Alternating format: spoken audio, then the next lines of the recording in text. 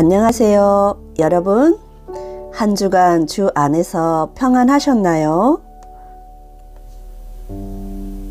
저는 하나님의 은혜로 감기도 빨리 낫고 일상이 회복되고 있어요. 오늘 나눌 말씀을 통해 여러분들의 삶에도 그리스의 평강이 마음과 생각을 지키시는 경험을 누리길 소망하며 말씀 안으로 들어갑니다. 아멘. 주제 말씀 누가복음 6장 42절 유대인 신학 성경 내가 내 눈에 있는 통나무를 보지 못하면서 어떻게 형제에게 형제여 내가 내 눈에서 티를 빼내게 하라 하고 말할 수 있겠느냐 위선자여 먼저 내 눈에서 통나무를 빼내어라 그러면 내가 또렷하게 볼 것이며 형제의 눈에서 티를 빼낼 수 있을 것이다. 아멘. 할렐루야. 말씀의 권능과 내 눈의 통나무라는 그림과 이야기가 복음의 거룩한 불꽃이 되길 소망하며 이야기를 듣는 모든 이들을 우리 주 예수님의 이름으로 축복합니다. 아멘. 이번 주 내내 내 눈의 들보를 빼라 하시는 말씀이 머릿속에서 맴돌며 가슴으로 내려와 떠나지 않았다. 친정 엄마를 돌보느라 말씀에 집중하지 못하고 있었다. 편찮으신 상황이 어느 정도 정리되면서 다시 한 구절 말씀에 집중해 본다. 내 눈에 박힌 커다란 통나무. 그 누구도 도와줄 수 없는 고통, 해결받지 못한 기도 제목들을 생각하다 보면 그저 눈물만 흐른다. 오늘 주제의 말씀을 찾으며 개혁 성경에 기록된 들보라는 의미를 잘 모르고 있었다. 유대인 신학 성경을 참고하려 들춰보았다. 들보가 통나무로 표현되어 있었다. 깜짝 놀랐다.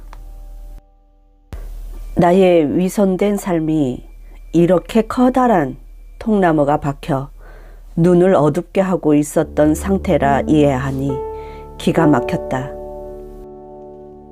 이런 위선을 벗어버리고자 내 문제를 놓고 오랜 세월 속에 기도하며 몸부림치다 보니 자연스레 같은 문제를 갖고 주님께 부르짖는 사람들이 눈에 밟혔다.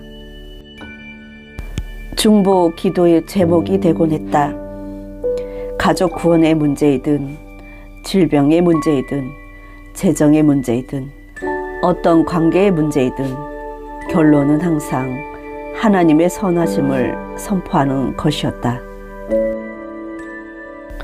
그리고 생명과 진리와 길 대신 예수님을 만나지 못함으로 불행이 꼬리에 꼬리를 물고 들어오는 것이 많으니 더 안타까운 마음이 깊었다. 내 눈에 박힌 통나무도 너무 많이 아프고 괴로웠지만 타인을 향한 국류를 주님께선 끊임없이 불어넣어 주셨다. 혹여 그런 나의 모습이 내 문제도 해결하지 못하면서 누굴 위해 중보하고 위선을 떨고 있나? 라는 질책을 한다면 할 말은 없다. 그러나 예수님의 발자취를 따라가다 보면 마음의 중심을 주님께 드리지 않을 수 없다. 그래서 그들의 문제가 곧 내 문제가 되었고 그들의 아픔이 곧 내 아픔이 되어 애통하는 마음으로 간구하곤 했다. 조금이라도 보탬이 되고자 했을 뿐이다. 이 타심, 이 거룩한 성품은 분명히 하나님의 성품이다. 그러던 어느 날 내 눈이 어둡다는 사실을 직면했다.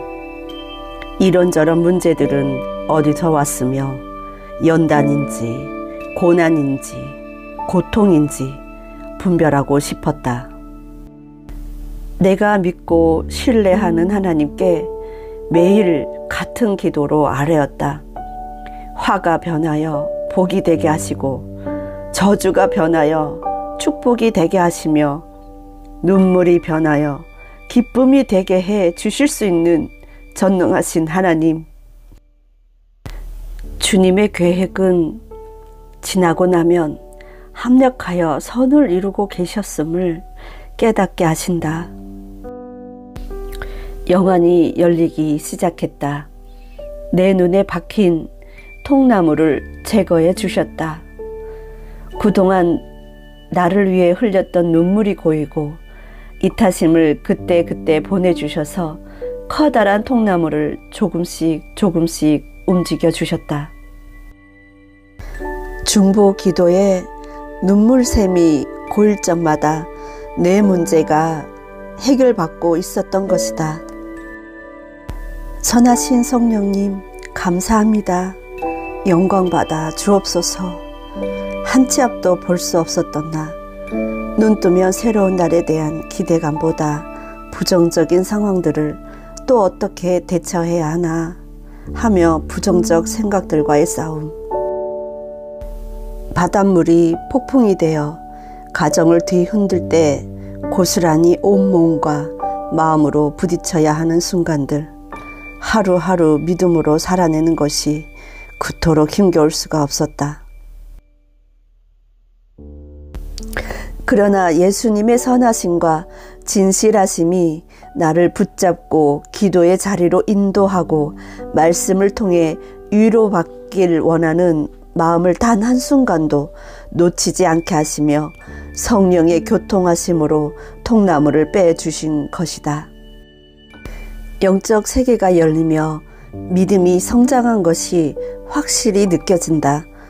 사단 마귀는 내 눈에 박힌 둘보를 빼는 걸 원치 않는다. 그래서 타인의 티만 보게 유혹한다. 사단 마귀는 내 문제를 주님께 호소하며 부르짖는 걸 원치 않는다. 부르짖는 고통 없이 쉽게 해결하려 사람을 찾고 의지하게 한다. 그러나 영적인 문제는 세상 어디에서도 해결받을 수 없다. 시간 낭비일 뿐이다. 때때로 우린 모든 의지하던 것들을 버리고 홀로 외롭게 둘보와 씨름하는 눈물의 기도를 드릴 필요가 있다. 그것은 하나님과 더 깊고 오묘한 관계로 발전하게 할 뿐만 아니라 선하신 분이시라는 것을 분명하게 알게 된다. 그리고 십자가 사랑이 거짓이 아닌 참인 것을 깨닫게 될 것이다. 아멘 주님, 감사합니다. 예수 이름으로 정복하기, 섬김 사역.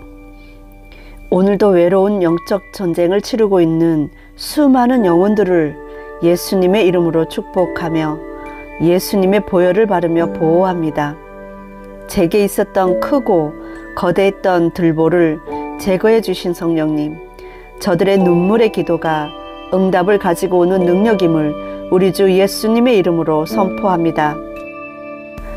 특별히 이타심으로 똘똘 뭉쳐진 소방대원들과 119 응급대원들을 예수님의 이름으로 축복하며 보혈의 피를 바르며 보호합니다. 매번 울리는 경보등을 뒤로 한 채 예수님을 찾으며 타인을 위해 죽기까지 하는 그들은 이름도 없이 빛도 없이 죽은 순교자들임을 우리 주 예수님의 이름으로 선포합니다. 진실하시고 참되신 주님, 주님의 계획은 선하십니다. 공의로우신 주님께 경배와 찬양을 올려드립니다. 저는 아직 순교의 믿음은 없으나 순교의 순간이 온다면 예수님과 함께 죽을 수 있도록 준비시켜 주옵소서.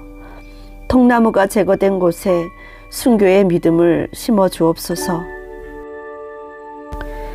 혹 삼방산 환상이 현실로 풀어질 때 거기서 죽은 소방대원들은 이름도 없이 빛도 없이 순교자 반열에 오르는 자가 될 것입니다. 주님, 그들 운명 가운데 개입하여 주시고 몇몇 대원들만 세상에 알려지겠지만 그 장소에서 그들의 마음이 중심이 어떠할지 주님이 아시기에 이 시간 예수님의 이름을 의지하고 스테반의 믿음으로 채워주시길 간구합니다.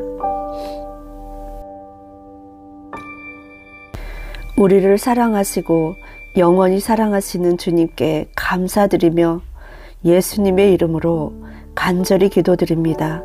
아멘. 아멘. 무거운 기도로 마무리하게 돼서 마음이 참 괴롭네요. 시와 때는 모르겠지만 혹시 제주에 여행 올 계획이 있거나 삼방산에 방문할 일이 있는 분들은 돌아서 다니는 게 좋을 것 같아요. 삼방산에 관련된 환상이 1년 전부터 세 번에 걸쳐 꿈으로 환상으로 보여주셨어요. 때가 임박했는지 모르겠지만 이 일이 일어나는 것을 보고, 보시거든 잃어버렸던 예배를 회복하시고 예수님께로 마음을 집중하시길 바랍니다. 경고의 사인이라 하셨고 회, 개하지 않으면 우리도 부지 중에 닥칠 수 있는 일이라 하셨어요. 믿음을 요구하시는 하나님께 온전히 붙어 있길 소망합니다. 다음 이 시간에 만나요. 안녕히 계세요.